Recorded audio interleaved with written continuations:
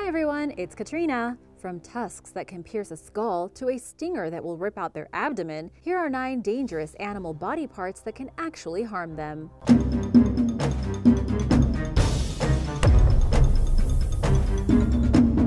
Number 9. Babirusa teeth. Babirusas, also called deer pigs, are found exclusively on the Indonesian islands of Sulawesi, Togian, Sula, and Buru. The most well-known among them is the North Sulawesi species, which is famous for the upward curving tusks that males have, which pierce their snout and curve back toward their forehead. It's long been rumored that these overgrown canines can become long enough to pierce the animal's skull and kill them. The truthfulness of this claim was highly doubted for a long time, but in 2010, Darren Naish of Tetrapod Zoology pointed out that there is at least one known example of this happening. A reader named Henrik Peterson brought to Naish's attention a Babirusa skull at the Museum of Natural History in Gothenburg, Sweden, that has a right tusk penetrating the skull. These extraordinarily rare instances probably only happen among very old Babirusas. In a 2018 study, scientists identified more examples than they expected to find of tusks eroding the animal's frontal bones. They concluded that 12% of wild Babirusas experience this and other tooth abnormalities that erode parts of the cranium. The team also determined that in some cases, the fragility of the Babirusa's tusks spares some of these animals from incurring such damage in the wild. Veterinarians trim the tusks on captive specimens so they avoid these problems altogether. In any case, with everything that animals have to do to survive, it seems unfair to be impaled by your own tusk. Number 8. Short snouts. Flat-faced dogs, including pugs, bulldogs, French bulldogs, and shih tzus, have become increasingly popular in recent years. These breeds were deliberately bred to have certain cute features, like short limbs, big eyes, and a small mouth and jaw, but these characteristics make them prone to a host of health issues. Overlapping teeth lead to a higher risk of decay and gum disease. Heavy skin folds on the face can cause a condition known as cherry eye, as well as eye ulcers, which sometimes requires the eye to be removed. Flat-faced canines often endure difficulty eating and swallowing as well. They always seem to be out of breath and snort and sneeze all the time. Many of these dogs require cesarean sections due to the puppies' heads being too large for the birth canal. An overwhelming number of English and French bulldogs and Boston Terriers are delivered by C-section, and giving birth without human assistance would result in an excruciatingly painful death. Flat-faced breeds, particularly Cavalier King Charles Spaniels, are also prone to painful neurological problems resulting from their compressed skulls. The dog's shortened and narrow airways often result in a constant inadequate oxygen supply, leading to breathing and secondary heart problems. Brachycephalic syndrome is an alarmingly common ailment among flat-faced breeds. Caring for one of these pups can be very expensive, and they tend to live shorter lives than other types of dogs. Animal activists and veterinarians have criticized profit-driven breeders for knowingly breeding dogs that are highly likely to suffer from health problems. Some organizations and experts, including the British Veterinary Association, have encouraged the public not to purchase these designer breeds, which are often very expensive. However, a 2020 study on breed loyalty to flat-faced dogs found that people enjoy them for more than just their looks, with many citing their beloved canine companion's personality traits as a reason that they would get the same kind of dog again in the future. These dogs are amazingly affectionate and just overall great friends. While those who love flat-faced dogs adamantly defend their choice to own them, there is a growing consensus in the veterinary and animal welfare communities that we have a responsibility to breed healthy dogs too. Number 7. Sheep's wool. In 2015, an Australian citizen found a sheep with massively overgrown wool outside Canberra, the country's capital. The sheep, nicknamed Chris, was so weighed down by his 18-inch coat that he could barely walk. If he had gone on much longer without being discovered, he probably would have died. The Royal Society for the Prevention of Cruelty to Animals, or the RSPCA, contacted national shearing champion Ian Elkins, who sheared Chris. The sheep had to be sedated for the procedure, which took over 40 minutes. Altogether, shearers removed 89 pounds of fleece, six years worth, superseding the previous world record for the largest single fleece ever shorn by nearly 30 pounds. The wool is on display at the National Museum of Australia. This unfortunate incident served as a reminder that merino sheep can suffer from serious medical problems and have trouble when it comes to performing simple tasks, like going to the bathroom, if they are not shorn regularly. These domesticated animals depend on people to take care of them. Chris regained his health and spent his final years at the Little Oak Sanctuary in New South Wales before passing away from old age in October 2019.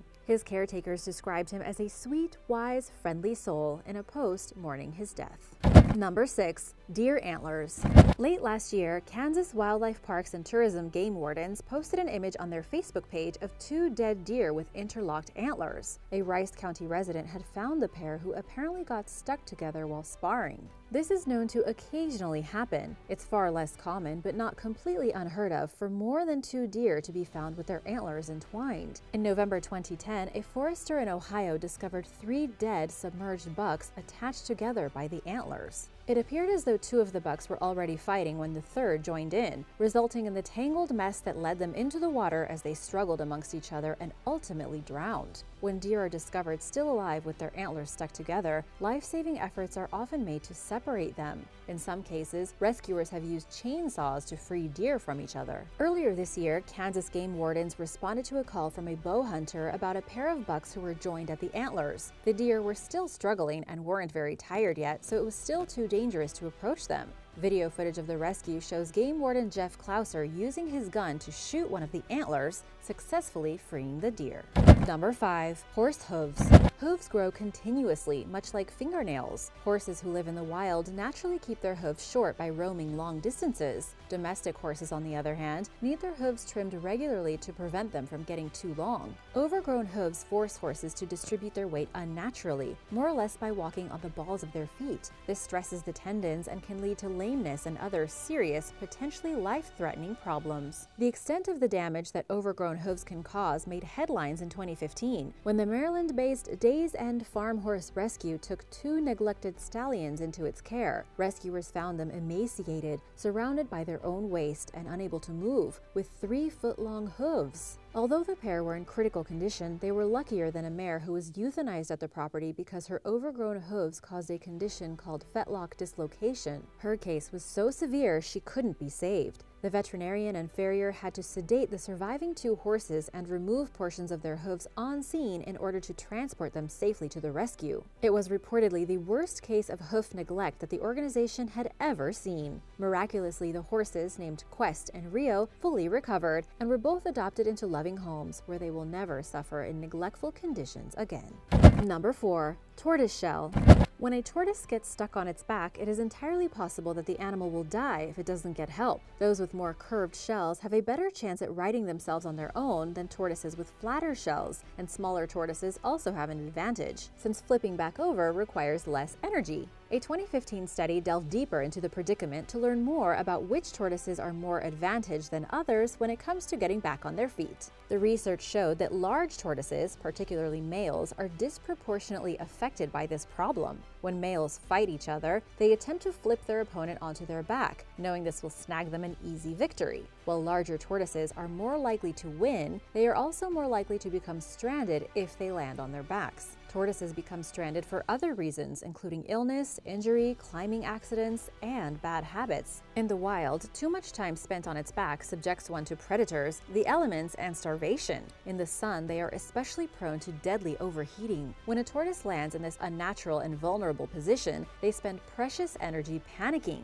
Sometimes their flailing is enough to get them back upright, and sometimes it's not.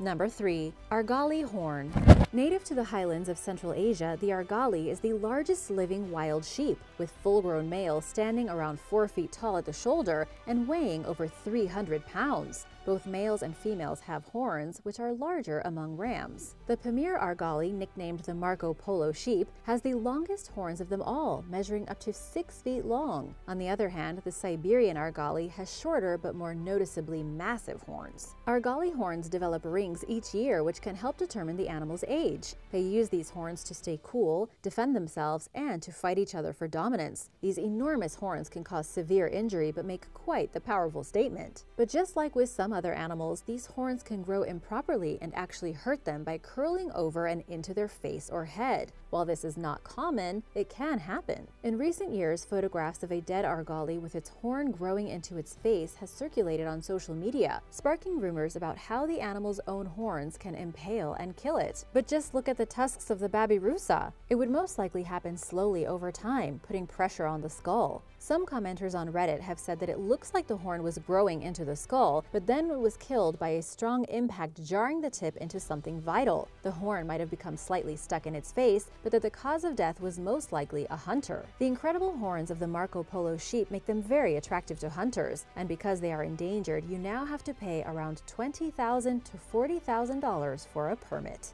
Number 2. Large body size. While it's easy to think that large animals have obvious advantages over smaller ones, evidence shows that this is not necessarily the case. In fact, big animals are more prone to dying out. An estimated 60% of the world's largest animals are threatened with extinction, according to the International Union for the Conservation of Nature. Past examples have shown that survival does not come as easy for big creatures, and for several reasons. For instance, super predators of the past sometimes devoured their entire available food supply and went extinct themselves as a result. When prehistoric giants died out in past mass extinctions, smaller creatures then evolved to much larger sizes, thus becoming prime candidates for succumbing to the next mass extinction.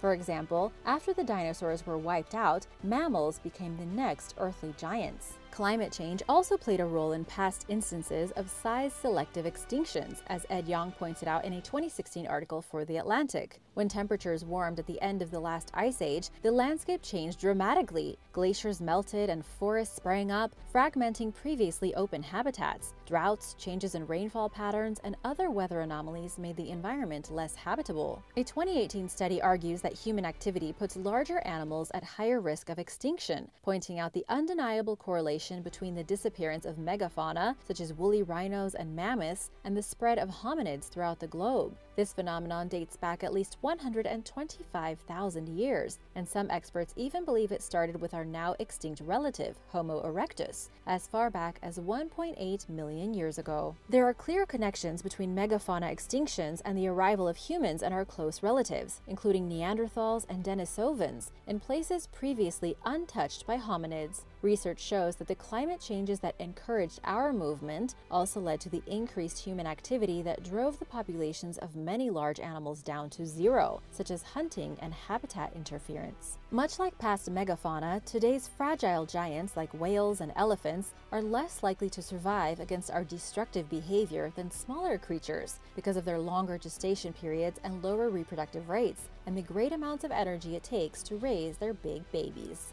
Number 1 Honeybee stingers. Most people would agree that being stung by a honeybee hurts, and for those with dangerous allergies, a sting can be fatal, but the exchange is always deadly for honeybees. When a honeybee plunges its double-barbed stinger into someone's skin, it can't remove it. Consequently, it ruptures its abdomen when it pulls away, leaving behind not only the stinger, but muscles, nerves, and part of its digestive tract. This is an example of a process called autotomy, which is when an animal defends itself by leaving a body part behind. But not all creatures who practice autotomy die from it. This may seem like an evolutionary disadvantage for the honeybee, but they are ready to sacrifice themselves to protect the hive even if it costs them their life. So why do they die when they sting, yet hornets and wasps don't? Some scientists believe that honeybees' nests are attacked more often, making suicidal defense more necessary for them than it is for other stinging creatures. For whatever reason, wasps and hornets can keep their stingers and can even sting repeatedly no problem. Unlike the honeybee, their stinger is not pulled right out of their body. Thanks for watching! Which thing did you think was the most dangerous for animals? Did any of these surprise you? Let me know in the comments below. Be sure to subscribe if you haven't already, and I'll see you next time. Bye!